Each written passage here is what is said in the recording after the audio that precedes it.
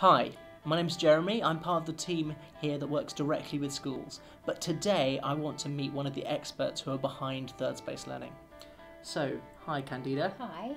Um, why don't you start by telling us a little bit about what you do here at Third Space? Okay, so I'm part of the teaching and learning team, and we look at tutor training and tutor development as well as curriculum design because these things work hand in hand. One to one tutoring is what we do, so good tutoring is at the heart of, of what we do. Um, we take math specialists and we train them in pedagogy, how to teach maths in an effective way to primary school children. Um, we focus on the cognitive side, so misconceptions and how best to introduce concepts and things like that, but we also focus on the softer skills. So we're looking at how to use good empathy or build confidence or improve growth mindset. Candida, do you have any insights that you can share with teachers, perhaps those who have pupils who are struggling with maths? Well, I think there's a danger of focusing too much on outcome, you know, just on the cognitive gains, rather than focusing in parallel on the softer skills and the process of how to get there. And I think at Third Space, we, we train our tutors to, to focus on both sides.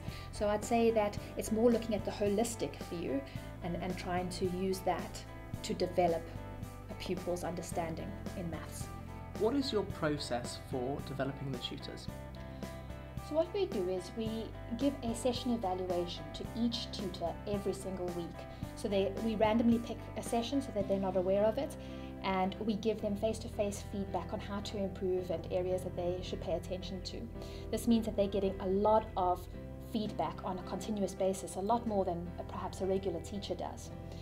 Then uh, we're also watching these videos to try and understand where common misconceptions are with pupils or possible ways that we can improve our lessons. We take all of this information and we share it with our tutors on a weekly basis using videos uh, or an online learning platform. Candida, what excites you about the work that you're doing at Third Space Learning? So at the moment, I'm responsible for our SATS program, and it's really exciting to see so many tutors teach the same lesson again and gain valuable insights from this. Taking that, harnessing it, and being able to use that for our teacher training and, and development. So I'm really proud of our SATS program that we've been able to develop, and I think that our pupils have are definitely growing in confidence and will be super prepared for their for their SATs. So Candida, how would you compare uh, being at the coalface in the classroom versus working at Third Space Learning? Yeah, so I was a teacher for 10 years and I really enjoyed that personal contact that I had with pupils. At Third Space, it's different. Um, I have indirect contact with the pupils, but you know, direct contact with the tutors, and I have an influence on the pupils through this way. But it's now with thousands of pupils per week, so I'd say that I do miss the classroom, but the impact is great. Candida, what's next for helping our tutors develop and our CPD? So we um, have a lot of different inputs. So we do a session evaluation, a, a tutor can improve through that feedback. We have our pupil feedback because they give one give feedback at the end of each session.